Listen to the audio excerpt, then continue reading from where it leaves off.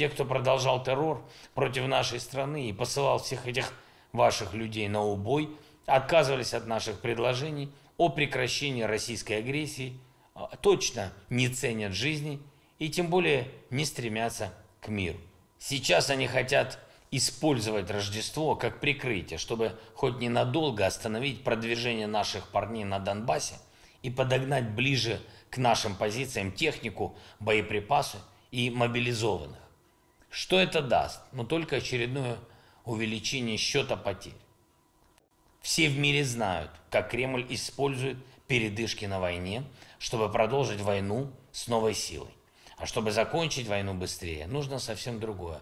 Нужно, чтобы граждане России нашли в себе смелость хотя бы на 36 часов, хотя бы во время Рождества освободиться от своего позорного страха перед одним человеком Кремле. Ваш страх перед ним уничтожает вашу страну, которая тоже уже глубоко, но не в бункере.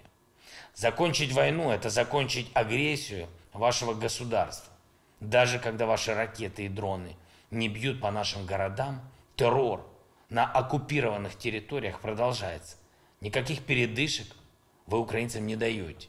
Людей пытают, бьют током, насилуют. Это продолжается каждый день, пока ваши солдаты на нашей земле.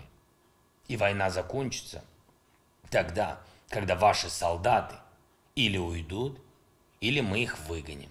Так что пусть забирают унитазы, они им в пути понадобятся, и возвращаются к себе за нашу границу от 1991 года.